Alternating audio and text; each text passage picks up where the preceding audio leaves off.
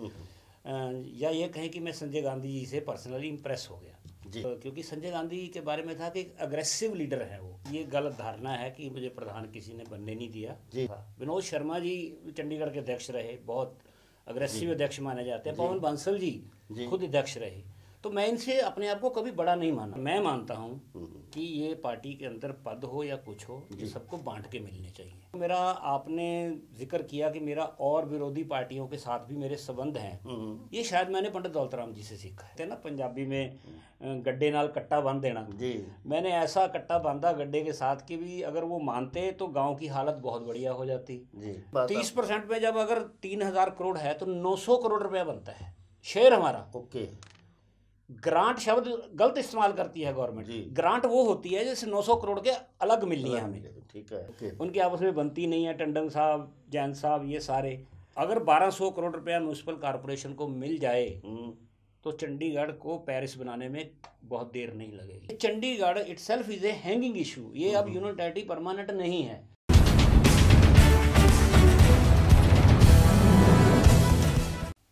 नमस्कार आदाब। सत श्रीकाल।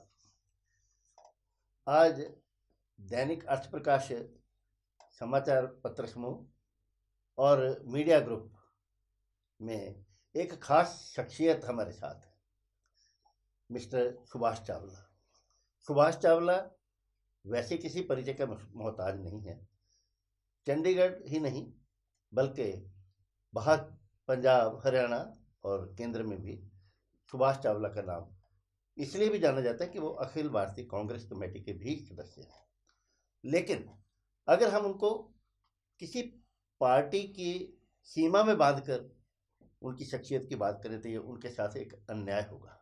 क्योंकि पिछले 45 साल में चंडीगढ़ में रहते हुए उन्होंने कांग्रेस का ठीक है, उसके कांग्रेस में रहते हुए सेवा की है, लेकिन उनका नाम कांग्रेस से हटकर भी जो है समाज में एक समाज सेवी के तौर पर भी जाना जाता है।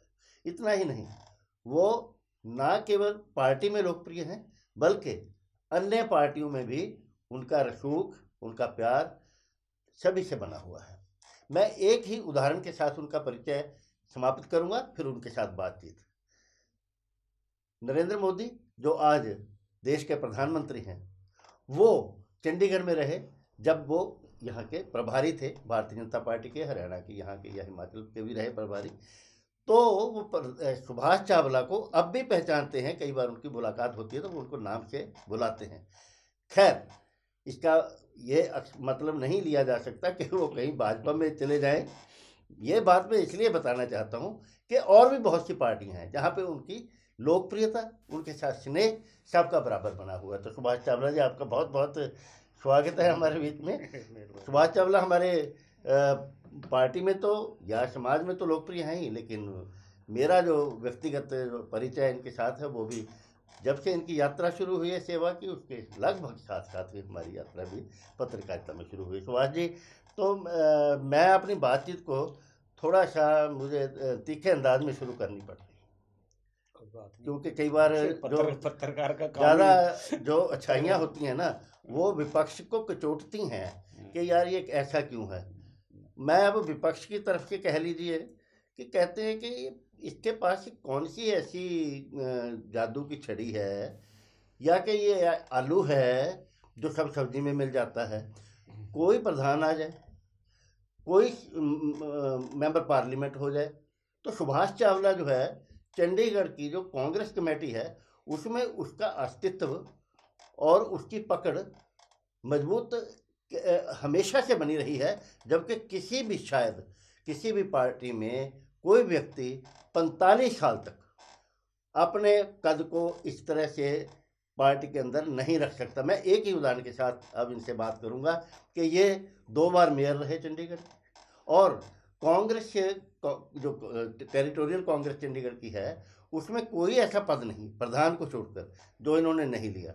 ब्लॉक प्रेसिडेंट, फिर डिस्ट्रिक्ट प्रेसिडेंट, फिर स्टेट के वाइस प्रेसिडेंट, फिर स्टेट के जनरल सेक्रेटरी और फिर यूथ कांग्रेस के प्रदेश अध्यक्ष भी रह चुके हैं। और आज जैसे मैंने शुरू में कहा कि आजकल अखिल भारतीय कांग्रेस कमेटी के सदस्य हैं, जो कि बहुत ही बड़ा एक पौधा है। क्या बात है सुभाष जी, ऐसा क्या जादू है? क्या जो विपक्ष कहता है या दूसरे लोग आपके विरोधी हैं, वो तो ऐसी ही करना खुशी करते हैं कि ये तो आलू है। जहाँ मर्ज़ी डाल दो सब्ज़ी में। हम्म, सबसे पहले तो कौशल जी मैं आपका शुक्रिया अदा करता हूँ कि मेरे लिए आपने इतने अच्छे शब्दों का इस्तेमाल किया। शायद मैं उतना लायक भी नहीं हूँ उसके पर ये आपका बड़प्पन है कि आपने क्योंकि आप मुझे जानते हैं इसलिए मुझे मेरे बारे में ये कह रहे हैं। कोई जादू की छड़ी नहीं होती। जब से मैंने कांग्रेस ज्वाइन की है और मैं बहुत छोटी उम्र में था बीस साल की उम्र थी मेरी उस वक़्त और मैं कॉलोनी में रहता था तो वहाँ संजय गांधी जी आए थे। जी। तो उन्होंने वहाँ एक शर्मदान कैंप हमने लगाया था चंडीगढ़ यूथ कांग्रेस ने तो उसमें वो एज ए चीफ गेस्ट कह लीजिए उस वक्त या एज ए लीडर पार्टी के वो उसका उद्घाटन करने आए थे। तो मेरी वो पहली मुलाकात थी उनसे और उस दिन बारिश आ रही थी तो हम कुछ लोग उनको अपने कंधों पे उठा के वो जहाँ तक वो लेके गए। वो मेरा हम्म। पहला दिन था और मैं उसी दिन से हम्म। या ये कहें कि मैं संजय गांधी जी से पर्सनली इम्प्रेस हो गया। जी। और मैंने तय कर लिया कि अब क्योंकि संजय गांधी के बारे में था कि अग्रेसिव लीडर है वो। ओके। और यु युवा जो है हमेशा पसंद करता है कि कोई लीडर देश का अग्रेसिव हो। हम्म, तो उम्र के हिसाब से हमें भी पसंद आए तो वो दिन था और आज का दिन है। जी। ये बदकिस्मती रही संजय गांधी जी जल्दी चले गए उसके हम्म। बाद खैर राजीव जी आए और आए सारे लेकिन हम्म। मैंने पीछे मुड़ के नहीं देखा जी और पीछे मुड़ के नहीं मेहनत की है जो भी पद मिला हम्म। उस पद को अपने लगन के साथ मेहनत के साथ और पार्टी के साथ वफादारी के साथ किया। जी। और यही एक कारण था कि मुझे हर पद के बाद तरक्की मिलती चली गई। जी। मुझे ये कभी नहीं हुआ कि मुझे पद से हटाया और मुझे कहा नहीं आपको पीछे किया जा रहा है या वरना आपको कोई रेस्ट दी जा रही जी। अगर मैं ब्लॉक प्रेसिडेंट बना तो मुझे डिस्ट्रिक्ट में वाइस प्रेसिडेंट जल्दी आ गया। हम्म, हम्म। अगर उसको जस्टिफाइड किया तो फिर मैं प्रदेश में जल्दी आ गया। हम्म, प्रदेश में भी मैं जनरल सेक्रेटरी था तो उस वक्त भी आप पत्रकार थे तो आप देखते थे कि अक्सर मेरे बयान मेरे ये फिर मैं पार्टी का स्पोक्स पर्सन भी रहा कई साल। ओके। तो उस वक्त भी जिस तरह मैं पार्टी का पक्ष पत्रकारों में रखता था तो वो सारे कोई प्रधान हो कोई भी पार्टी का अध्यक्ष हो काम करने वाले आदमी को वो छोड़ना नहीं चाहता। और यही एक कारण था कि हाँ, हाँ। मुझे आगे से आगे पद मिलते चले गए। सुभाष जी देखिए आप अपने बारे में ज़रूर ये तो है ही है कि आप कहेंगे मैं ऐसा अच्छा काम करता हूँ तब है। लेकिन एक बात और भी तो आप देखिए कि आप चाहे जो मर्ज़ी रहे प्रधान तो किसी ने नहीं बनने दिया आपको। वो कारण यही है ना कि लोग या तो आपसे डरते हैं या आपकी काबिलियत से डरते हैं नहीं, ये, या आप ये ये गलत जेलसी करते क्या इसका क्या कारण है? ये गलत धारणा है कि मुझे प्रधान किसी ने बनने नहीं दिया। जी। आ, सही मायनों में आ, समय होता है हम्म, हम्म। और ये ऐसी है कि एक आदमी ने ही बनना है। चंडीगढ़ में दो चीज़ें ऐसी हैं जिसमें मेंबर पार्लियामेंट भी एक ही बन सकता है हम्म, और अध्यक्ष की भी एक ही है। तो ये नहीं है कि जो मेरे से जो बने हैं हम्म, हम्म। वो मेरे से कोई कम थे मेरे से ज़्यादा थे तभी उनको मौका मिला है। चौधरी भोपाल सिंह का मुकाबला मैं नहीं कर सकता। पंडित दौलत राम जी का मुकाबला मैं नहीं कर सकता था। विनोद शर्मा जी चंडीगढ़ के अध्यक्ष रहे बहुत अग्रेसिव अध्यक्ष माने जाते हैं। पवन बंसल जी। खुद अध्यक्ष रहे। तो मैं इनसे अपने आप को कभी बड़ा नहीं माना। नहीं मैं आपकी बात को बीच में मैं, मैं इसलिए रहा हूँ हाँ। कि आपके ठीक है ये जो नाम लिए हैं इसमें तो कोई शक नहीं है हम्म। कि वो शख्सियतें हैं बड़ी हस्तियाँ रही हैं। लेकिन ये प्रदीप छाबड़ा आपके सीनियर हैं क्या? देखिए जब प्रदीप छाबड़ा जी बने जी। उस वक्त शायद मैंने बहुत ज़्यादा इंटरेस्ट नहीं दिखाया। कारण था कि मुझे दो बार पार्टी ने मेयर की पोस्ट दी और मैं मानता हूँ हम्म। कि ये पार्टी के अंदर पद हो या कुछ हो ये सबको बांट के मिलने चाहिए। ओके। तो मैं संतुष्ट था इस बात पे हम्म, कि हम्म। मुझे पार्टी ने जो मैं नहीं मतलब दो बार शायद किसी को जनरल सीट पे अभी तक नहीं बनाया। रिज़र्व में तो आए हैं दो दो बार। लेकिन मेरे लिए ये बहुत था उस वक्त। मैं समझता था कि अगर मुझे दो बार पद मिला है तो ये प्रधान का पद किसी और को भी मिल जाए। तो नहीं है। इसमें मैं खुद इंटरेस्ट नहीं लिया उस वक्त और कुछ हद तक मैंने सहमति दी थी प्रदीप छावड़ा जी के लिए। आपका जो जीवन यात्रा रही है कांग्रेस पार्टी में बड़ा लंबा अरसे से यहाँ जब चंडीगढ़ पूरी तरह से यूनियन टेरिटरी की टेरिटोरियल कांग्रेस नहीं होती थी इवन हाफ़ डिवाइडेड थी कुछ एरिया नारायणगढ़ मनीमाजा वाला साइड था या उधर खरड़ साइड था साउथ एरिया जो चंडीगढ़ का है। तो उस वक्त से लेकर जब कोई राम सिंह जट भी रहे एक जगह प्रधान रहे कुछ एरिया के और श्यामलाल गुप्ता रहे उसके बाद लक्ष्मण सिंह आए भोपाल सिंह आए ये सारे जो आपने प्रधानों को देखा है आपको किसका पीरियड जो है स्वर्ण पीरियड लगता है कि भी बहुत अच्छा उस आदमी ने नेतृत्व निभाया? देखिए गोपाल सिंह जी जब आए मैं उस वक्त शुरुआत थी मेरी। जी। उनका होते हुए हम्म, उनको हम आधुनिक विनोबा भावे कहते थे। जी। और लोग उनके पहरावे की उनके काम करने के तरीके की एक हम्म। दिल से इज़्ज़त करते थे। जी। और उनकी देन जो है आज जो गाँव हैं हाँ, हाँ, बचे हुए बाईस गाँव ये चौधरी गोपाल सिंह की देन है जो उन्होंने इंदिरा जी से कह के हाथ पकड़ के चंडीगढ़ में ये काम करवाया था जी जी। कि जब वो दोबारा सत्ता में आएँगी सत्तर के हारने के बाद। जी। इसी तरह विनोद शर्मा जी भी अध्यक्ष रहे हमारे। जी जी। और मैं तारीफ़ करना चाहूँगा उनका काम करने का तरीका था कि अफसरों को दबा के रखना है उनसे काम लेने हैं वो उनका एक जिम्मेवारी बनती है। हम्म, हम्म, पवन बंसल जी के साथ भी मैं काम किया उन्होंने उनका एक और तरीका था काम करने का जो आज के लोग चाहते हैं। जी। शराफत प्यार से बोलना। ओके। एक इंटेलेक्चुअल अपना लुक देनी शहर में कि वो बुद्धिजीवी वर्ग को करते हैं। जी। तो सभी प्रधानों ने बाकी पहले वालों से ज़्यादा मुझे श्यामलाल जी या लक्ष्मण सिंह जी के साथ बहुत ज़्यादा काम करने का नहीं मिला मौका। बाद में ये लगा कि वो पार्टियों मीटिंग में मैं मिलते रहे। जी। लेकिन जितने दौलतराम जी ने तो पार्टी को घर घर तक पहुँचा दिया। वो उनकी। तो सादगी और लोग वर्करों के बीच में बैठना उनके साथ घुल मिल के बात करना ही। जी। और जो मेरा आपने ज़िक्र किया कि मेरा और विरोधी पार्टियों के साथ भी मेरे संबंध हैं हम्म, ये शायद मैंने पंडित दौलतराम जी से सीखा है। जी। वो कहते थे कि अपनी पार्टी की वफादारी करो हाँ, हाँ, और निजी संबंध किसी से नहीं खराब कर। किसी पे निजी अटैक से बचो। हाँ, हाँ, किसी के पारिवारिक मामलों में मत दखल दो जो आज के ज़माने में देखने को लग रहा है कि अगर आप विरोधी पक्ष में हैं तो उस पर निजी अटैक करो उनके परिवार के बारे में करो उनके बिज़नेस के बारे में करो। दौलतराम जी से जो मैंने सीखा है जी। वो जब दौलतराम जी हमारी पार्टी के वाइस प्रेसिडेंट थे हम्म, हम्म, तब भी ऑल पार्टी मीटिंग को सारी पार्टियाँ उनसे प्रोजाइड करवाती थी। ओके। तो आप जगह उस जैसे आदमी के साथ काम किया है। वो देखा है। तो सब प्रधान चंडीगढ़ कांग्रेस के समय समय पर बहुत अच्छे रहे हैं। हम्म, हम्म, और उनसे कुछ ना कुछ मैंने सीखा है। जी।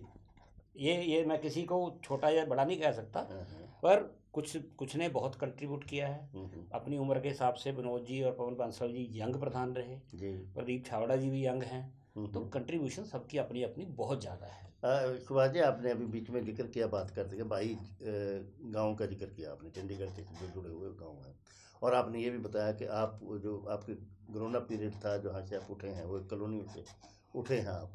तो आपका अनुभव जैसा है गाँव का ये सारा आप जानते हो परिवेश कैसा होता है और क्या क्या उनके गाँव की ज़रूरतें होती हैं? तो हम इसी बात से हम अपनी बात को आगे बढ़ाते हैं कि एक टाइम था कि चंडीगढ़ के पहले गाँव अलग बिल्कुल अलग थे। फिर बाद में कुछ गाँव मॉडल मॉडल ग्राम बनाकर रख दिए गए कुछ को इधर मर्ज कर दिया गया। तो ये जो अ, मर्ज करने का क्या हुआ कि जो एक कॉन्सेप्ट राजीव गांधी ने दिया पंचायती राज का कॉन्सेप्ट हालाँकि पंचायती राज का पुराना कॉन्सेप्ट है लेकिन उन्होंने जो महिलाओं को आगे लाने की बात जो डाउन ट्रेडन जो जो लोग हैं या दलित लोग हैं सबको उनको ऊपर उठाने की बात पंचायतों को प्रशासन में उनकी भागीदारी करने की जो बात थी वो आज जो पोजीशन है उसमें क्या है कि पंचायतों का तो सिस्टम ही खत्म हो गया और उनके अधिकारों से भी वंचित हो गए हैं लोग। तो आज की परिस्थिति में आप क्या समझते हैं जो देखिए इसके? लिए तो मैं सीधा दोष आज की जो सत्ताधारी पार्टी है भारतीय जनता पार्टी इसको दूँगा। जी। कारण ये है कि हमने भी अपने समय पे गाँव रखे पर हमने पंचायतों को अधिकार बराबर दिए। और जब अमेंडमेंट हुई seventy fourth amendment Rajiv Gandhi ji ने की उसमें तो सारे अधिकार ज़्यादा दे दिए थे। जी। वो कोशिश की हमने कि ये रखें। हम्म हम्म, और पिछली बार प्रशासन ने जब मैं मेयर था तो एक दबाव था मेरे ऊपर। चिट्ठी आई कि जी आप इन बाकी गाँव को मर्ज कर दो। ओके। तो आ, मैंने उसमें मना कर दिया था गवर्नर साहब से लेकिन उसमें एक तरह का थ्रेट था कि अगर आप ये रेजुलेशन पास करके नहीं भेजोगे तो हम कॉरपोरेशन के खिलाफ एक्शन भी ले सकते हैं। ओके तो मैंने एक रास्ता निकाला था कि ठीक है आप मर्ज कर लीजिए लेकिन मैंने उसमें ग्यारह शर्तें डाल दी थी। ओके रेजोल्यूशन में। हम्म, एक राजनीतिक आप एक्सपीरियंस की बात कर लीजिए या कहते हैं ना पंजाबी में गड्ढे नाल कट्टा बाँध देना। जी। मैंने ऐसा कट्टा बांधा गड्ढे के साथ कि भी अगर वो मानते तो गाँव की हालत बहुत बढ़िया हो जाती। जी। नहीं मानते तो वो मर्जर नहीं हुआ। दोनों चीज़ें हो गई। लेकिन अब जब भारतीय जनता पार्टी अब आई हाँ, हाँ। इन्होंने वो ग्यारह शर्तें सारी उड़ा दी। ओके और मर्जर कर दिया। जी। इस वक्त जो गाँव मर्ज हुए हैं उनका हम्म। कोई वाली वारस नहीं है। ओके। एडमिनिस्ट्रेशन ने पल्ला झाड़ लिया कि जी हमने तो कारपोरेशन को दे दिए वो जाने। ओके। और कारपोरेशन कहती है कि अभी हमारा वहाँ काउंसलर नहीं है। जी।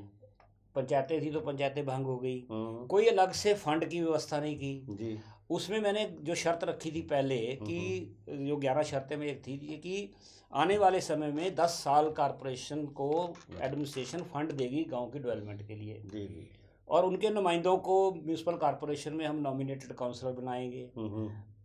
ग्यारह शर्तों में ये भी था। दूसरा था कि जो बाहर वाली आबादी है जो गाँव के बाहर बनी हुई है उसको रेगुलाइज करेंगे हम। उनको मीटर बिजली पानी ये सब देंगे। अब वो सारी शर्तें बिना किए हुए इन्होंने मर्ज करके भेज दी। अब गाँव वाले बेचारे तड़फ रहे हैं। अब उनको कोई पूछने वाला नहीं है। तो ये स्थिति अब और ख़राब हो गई। सुभाष जी से हम अपनी बातचीत जारी रखेंगे। इन्होंने गाँव की बात की है, वहाँ से रिप्रेजेंटेटिव नहीं है इलेक्टेड उसकी बात की। इसके इसके बारे में हम आगे के उनका बजट का क्या होगा कॉरपोरेशन के आमजन के क्या साधन होंगे, ये बातचीत हम जारी रखेंगे। लेकिन अभी हम आपको दिखाना चाहेंगे सुभाष चावला की जो राजनीतिक जीवन यात्रा है, उसके कुछ दृश्य। बड़े जो सीनियर जो नेता हैं, पुराने रहे हैं, और इनके युवा काल से लेकर तो देखिए, थोड़ा हम आपसे साझा करते हैं उनके पुरानी अतीत के चित्र।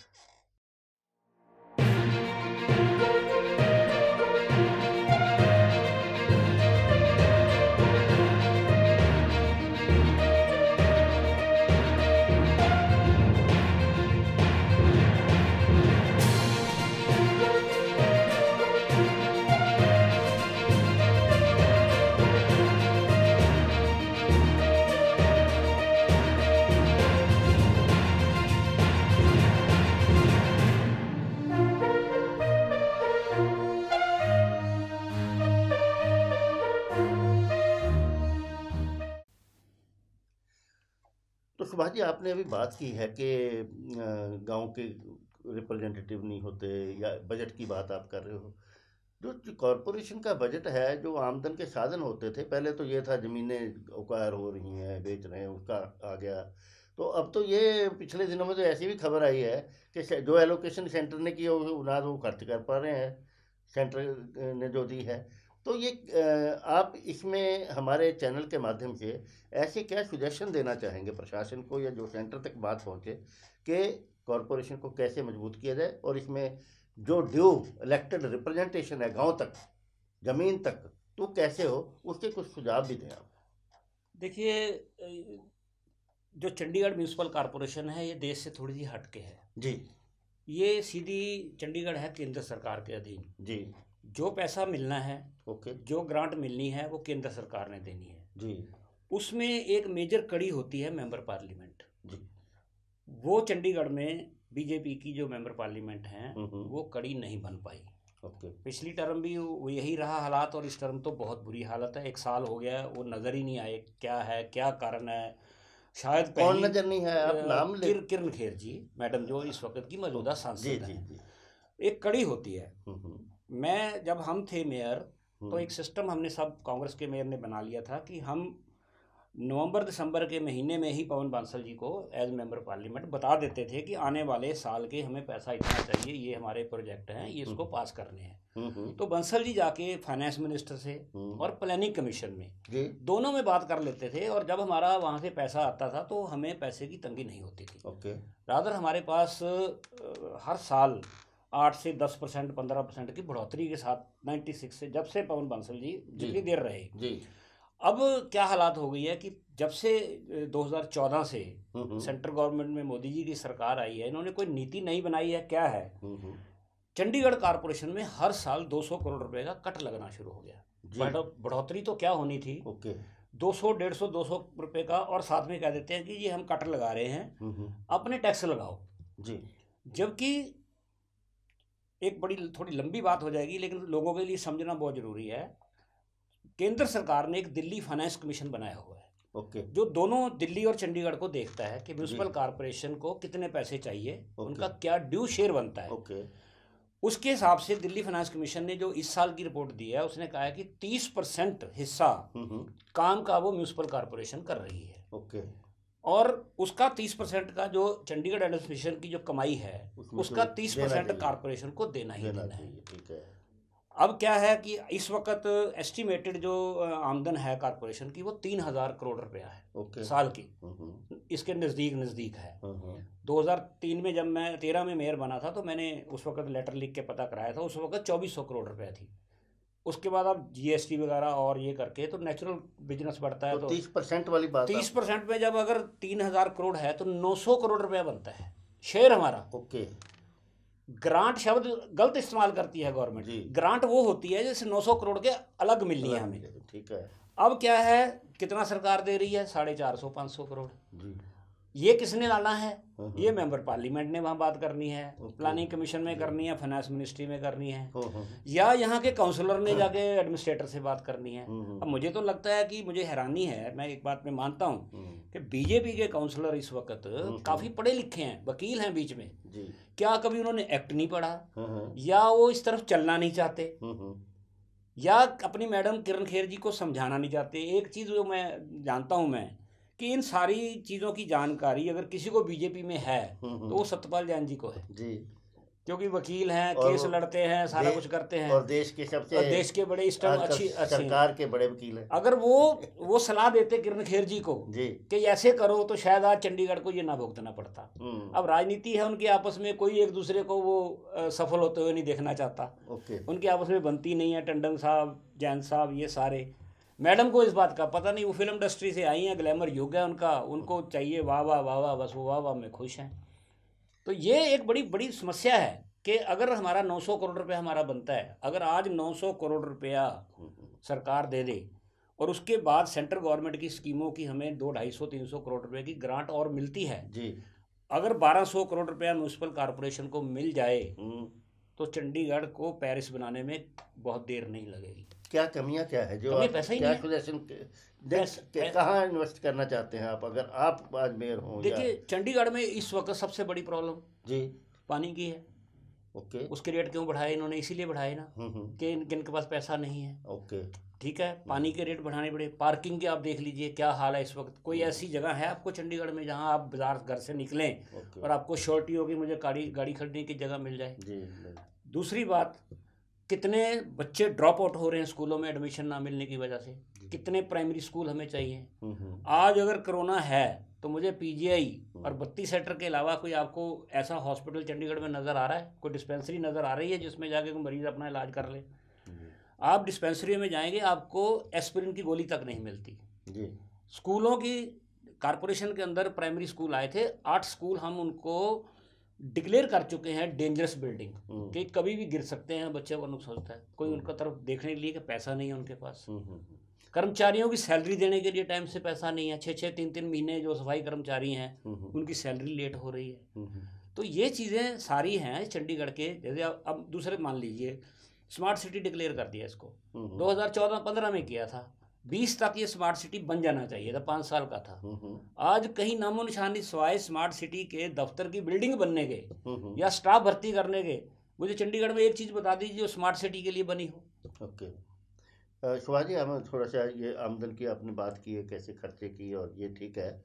और जब आप अभी इलेक्शन भी ड्यू है कॉरपोरेशन का जन जो जनवरी में मेरा नहीं दिसंबर में आ, अगले साल दिसंबर में होगा हाँ। लेकिन मेयर का मेयर अभी का जनवरी है।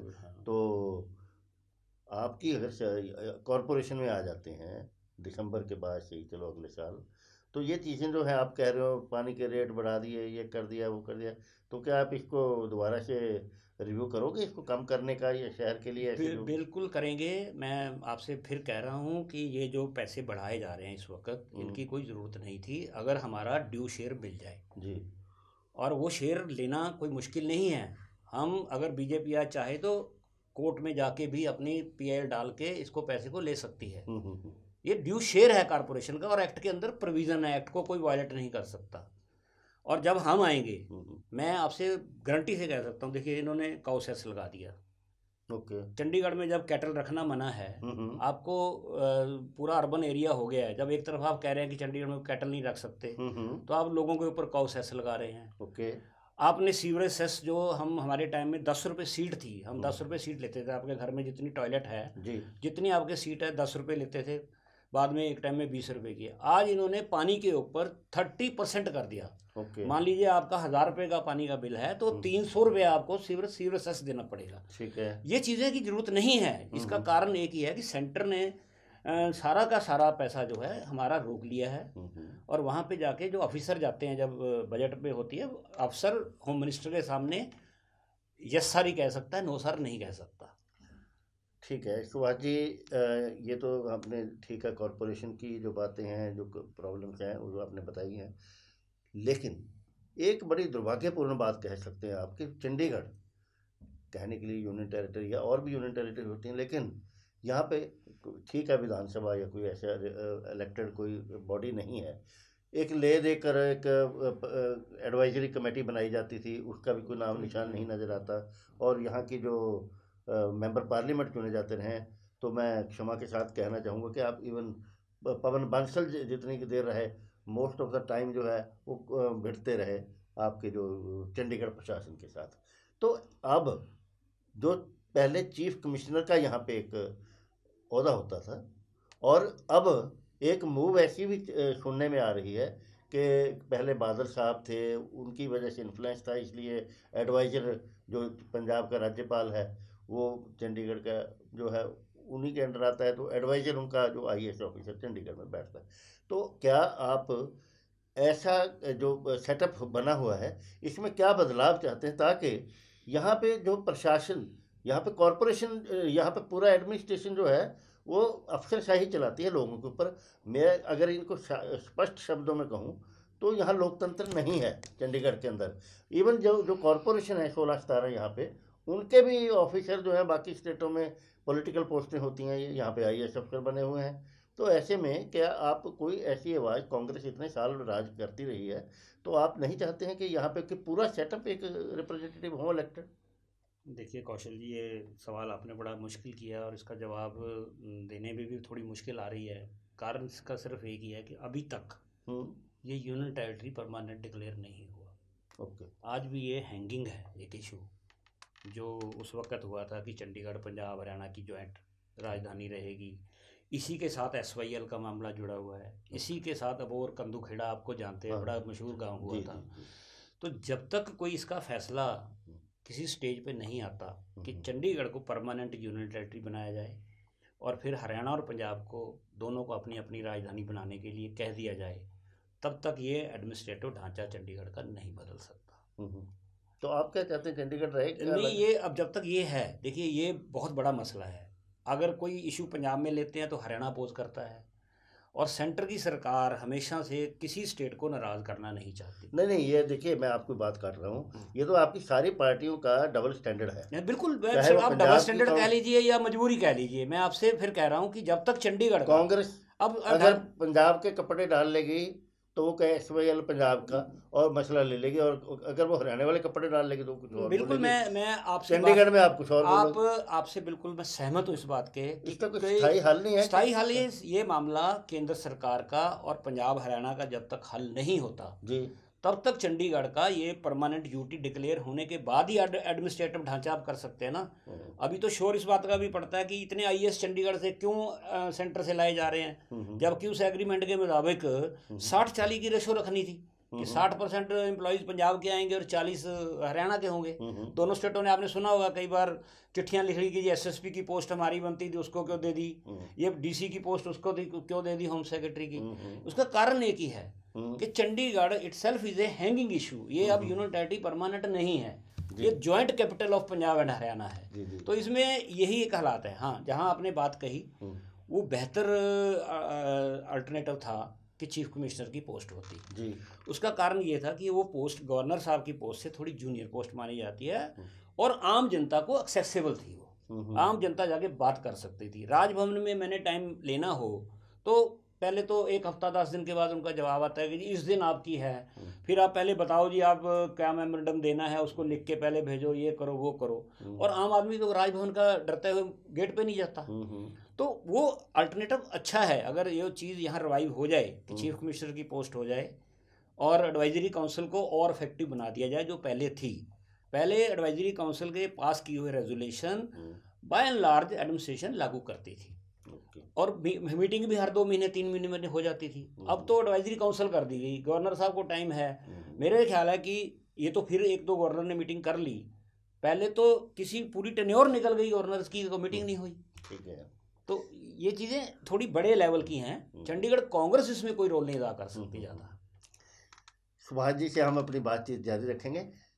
लेकिन सुभाष जी समय समय पर कुछ ना कुछ पत्राचार भी करते रहते हैं अपनी पार्टी के भीतर या दूसरी पार्टियों या प्रशासन को लिखते रहते हैं। और कई बार ये अपना कोई ना कोई वीडियो भी जारी करते रहते हैं। तो आप कुछ झलक, कुछ अंश आपको इनके एक दो वीडियो की दिखाते हैं आपको। जरा सुनिए कहते क्या है सुभाष चावला जी? एक ऐसे मसले पे आपसे बात करना चाहता हूँ। मैं समझता हूँ कि चंडीगढ़ के बहुत से लोग इसका सामना कर रहे हैं। आज सुबह ही जब मैंने अब, मेरे अपना बिजली का बिल आया तो उसको देखते ही मेरे होश उड़ गए। जो पिछले कई वर्षों से जो पानी बिजली का मेरा बिल आता था, बिजली का खास करके, वो ज़्यादा से ज़्यादा जब रेट बढ़े तो सात आठ हज़ार रुपये तो महीने का बिल आता था। एक आध बार दस हज़ार रुपये तक पहुँचा है। लेकिन जो आज मुझे बिल मिला, वो छब्बीस हज़ार रुपये का मिला। कि ये समस्या सिर्फ़ मेरी नहीं, सबकी है। एक दोस्त ने मुझे बताया कि मैं तो दो कमरे के मकान में रहता हूँ और सवेरे मेरी वाइफ नौकरी पे चली जाती है और मैं दुकान पे आ जाता हूँ। तो मेरा बिल भी इक्कीस हज़ार रुपये आ गया। सात महीने के बाद चंडीगढ़ नगर निगम की मीटिंग हाउस के अंदर हुई। इससे पहले जितनी भी मीटिंग हुई वो वर्चुअल होती रही और उस पर अक्सर काउंसलरों की ये शिकायत थी कि इस मीटिंग का कोई फ़ायदा नहीं हो रहा, वो अपनी बात पूरी नहीं कह रहे। बात इस हद तक आगे बढ़ गई कि भारतीय जनता पार्टी के 20 ही पार्षदों ने अपने ही मेयर द्वारा बुलाई हुई वर्चुअल मीटिंग का बायकॉट कर दिया। ये इतिहास में शायद कभी नहीं हुआ कि कोरम इस वजह से पूरा ना हुआ हो कि रूलिंग पार्टी के सदस्यों ने ही मीटिंग का बहिष्कार कर दिया आजकल देश में एक बहुत ही गमगीन और बहुत ही दुखदाई माहौल बना हुआ है। हर तरफ़ से बेटियों के साथ बलात्कार की खबरें आ रही हैं और हथरस की इस कांड ने तो पूरे देश को हिला के रख दिया है। मोदी जी, आपने कृषि संशोधन बिल तो पास करवा लिए, लेकिन जिनके लिए किए हैं, दावा किया जा रहा है कि भारतवर्ष के किसानों के लिए किए जा रहे हैं, वो तो खुश नहीं है आपसे। प्रार्थना की थी, क्योंकि 25 सेक्टर इस प्लांट के लगने के बाद जो उस एरिया की हालत है, वो बद से बदतर हो जाएगी। क्योंकि वहीं पर करमिशन ग्राउंड है, वहीं पर मुस्लिम भाइयों के लिए ग्रेवयार्ड है क्रिश्चियंस के लिए है, गौशाला है डंपिंग ग्राउंड है गार्बेज प्लांट है।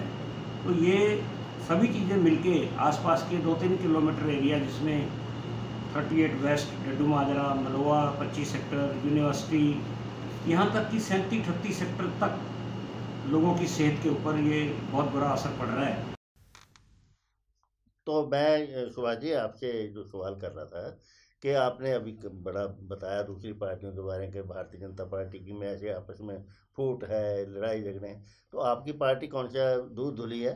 आपकी पार्टी आजकल तो एक नया आपने बम पत्र छोड़ रखा है। उसकी बड़ी चर्चा है अखबारों में कि प्रधान जो है चंडीगढ़ प्रदेश कांग्रेस के प्रदीप छावड़ा और सुना है कि आप कोई आक्षेप कर रहे हैं ऐसा उनके काम काज पे? नहीं नहीं नहीं तो आप जरा बताइए क्या है वो पत्र कोई क्या है? ऐसा नहीं था। आजकल व्हाट्सएप का ज़माना है और मैं अक्सर व्हाट्सएप पे लिखता हूँ जो मेरे मन में होता है। जी। और उसी तरह मैंने एक पत्र की शक्ल में उन्हें व्हाट्सएप पे लिख के भेजा हाँ हाँ। कि हमें पार्टी को सबको लोगों को भेजा? हाँ करीब करीब दो जो सीनियर आदमी थे उनको भी भेजा है हाँ, कि ये मसले जो इस वक्त तीन चार हैं। पहला निजीकरण वाला मामला है।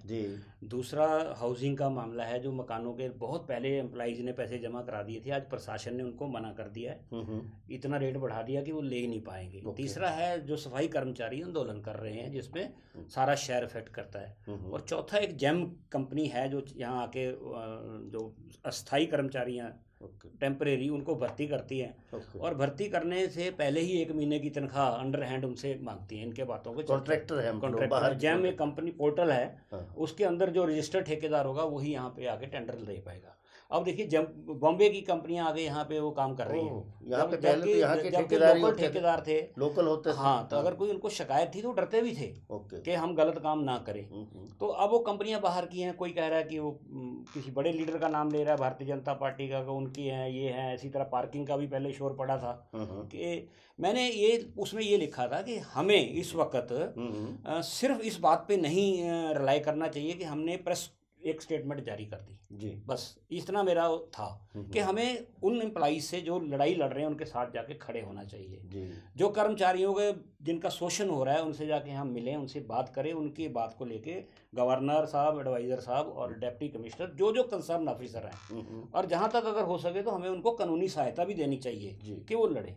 ये बातें मैंने उठाई थी और मैं पार्टी हित में था कि हमने कारपोरेशन में जाना है। हम्म, हम्म, जो चार पाँच वर्ग हैं ये इनका इनको अगर देखिए आज का ज़माना वो नहीं है हम्म, कि आप चुनाव में गए और जाके झूठ सच बोल दिया। हर आदमी सोशल मीडिया पे जुड़ा हुआ है और याद भी रखता है। हम्म, तो उसको अब आप पत्रकारों को मैं कहता नहीं पत्रकारों का अपना नज़रिया होता है कि ये लेटर कहीं आके आक्षेप किया गया है या उनके विरुद्ध है। हम्म, एक बड़े भाई के नाते छोटे भाई को सलाह थी वो। ये कि ये आपने ये काम करना है। जी जी सीनियर कह लीजिए वो मेरे छोटे भाई की तरह हैं मैं उनको वो सामाजिक तौर पे भी मैं छोटा भाई मानता हूँ। तो एक सलाह थी उसमें और कुछ नहीं था। तो तो सुभाष जी के साथ जो हमारी बातचीत को हम समअप करते हैं। समअप करने से पहले सुभाष जी से इस देश की जो आज की परिस्थितियाँ हैं राजनीतिक सामाजिक आपस में जो कहते हैं अनेकता में एकता का जो मामला है इसको लेकर हम बड़ा संक्षिप्त सा एक संदेश चाहेंगे कि आप अपने दर्शकों को देखिए भारतवर्ष में अनेकता में एकता यही भारतवर्ष की जो मजबूती है। जी। और इसको हमें कायम करने के लिए हर कुर्बानी के लिए तैयार रहना चाहिए। जी। जो आज की मौजूदा पार्टी या सरकार हम्म, जो हिंदू मुसलमान या और बातें करके या हम्म। लव जहाद या ट्रिपल तलाक के नाम पे एक कम्युनिटी को दूसरी कम्युनिटी से लड़ाने की कोशिश कर रहे हैं ये चीज़ें देश के आज उनको हो सकता है पार्टी को थोड़ा बहुत फौरी तौर पर फ़ायदा मिल जाए। हर जगह मिल रहा है? मैं इसको बहुत लंबा नहीं मानता देश हमारे लिए पहले होना चाहिए। आज मैं समझता हूँ कि धीरे धीरे हम देश को बारूद के ढेर पे लेके जा रहे हैं। हम्म, किसी भी कम्युनिटी को आप दबा नहीं सकते। और उस कम्युनिटी को तो खास करके जिसकी आबादी अब अठारह बीस करोड़ हो। देश में जब आप ये कहते हैं कि सबका साथ सबका विश्वास और सबका साथ तो क्या मुस्लिम को हम अपने उस कैटेगरी में नहीं मान मैं आपकी बात को बीच में थोड़ा सा काट रहा हूँ। हाँ, ये आपके सुझाव तो बहुत अच्छे लग रहे हैं मुझे हाँ। लेकिन कांग्रेस पार्टी पूरे देश में कहीं सड़कों पे न- नज़र नहीं आती ऐसे हाँ, संदेश हाँ, देती हाँ, हुई। ये मैं मैं सही बता रहा हूँ कि तजर्बा हमारे सामने है। हाँ, हाँ, चंडीगढ़ में जब किरण खेर जी दूसरी बार इलेक्शन लड़ रहे थे जी। तो मोदी जी ने स्टेज पे कहा हम्म, हम्म, कि वोट आपने किरण खेर को नहीं देनी हम्म। मुझे देनी है। जी। मुझे क्यों देनी है? क्योंकि मैं हिंदू सम्राट हूँ। ओके। और ये जो एक धर्म की भावना होती है इसमें ना मैं तो कांग्रेस ही हूँ मैं इसलिए कह रहा हूँ हमारे परिवार तक बह गए। कि जी पहली बार कोई देश में लीडर आया जो हिंदू की बात कर रहा है। हम्म, हिंदू की बात कर सकते हैं आप हम्म। पर मुसलमानों की कॉस्ट पे नहीं। जी। उनको मार के नहीं जी। उनको दबा के नहीं। जी। वो तो जो उनका हक बनता है हाँ, हाँ, उसको आप दीजिए। जी। उनको उस कैटेगरी में रख के। लेकिन आप कभी घुसपैठिए कह देते हैं उनको। कभी कोई बड़ा लीडर उठता है कहता है आप जो नहीं पसंद तो आप पाकिस्तान चले जाओ। कि पाकिस्तानी क्यों कहते हो आप? ये क्यों नहीं कहते कि आप अमेरिका चले जाओ? आप ये क्यों नहीं कहते कि आप बर्मा चले जाओ? मतलब क्योंकि Pakistan is a Muslim country तो भावना को भड़का के राज करना हाँ, हाँ, देश को तोड़ने के बराबर मैं समझता हूँ। ठीक है बहुत बहुत। धन्यवाद। तो ये थे सुभाष चावला जो चंडीगढ़ की एक जैसे जानी मानी हस्ती शख्सियत कांग्रेस पार्टी के बहुत ही वरिष्ठ नेता ऐसे नेता जो ना केवल पार्टी को जोड़कर रखने वाले होते हैं बल्कि समाज में भी जैसा इन्होंने संदेश दिया है उसी तरह का इनका व्यक्तित्व और कृतित्व भी, भी चंडीगढ़ में पिछले पैंतालीस साल से देखा जा रहा है। सुभाष जी आप हमारे स्टूडियो में आए आपका बहुत बहुत धन्यवाद। नमस्कार। मैं मेरी खुशकिस्मती है कि आपसे बात करने का मौका मिल रहा है। बहुत धन्यवाद। थैंक यू ताज़ा अपडेट्स व बड़ी खबरों के लिए सब्सक्राइब करें आज प्रकाश टीवी और बेल आइकन दबाना ना भूलें।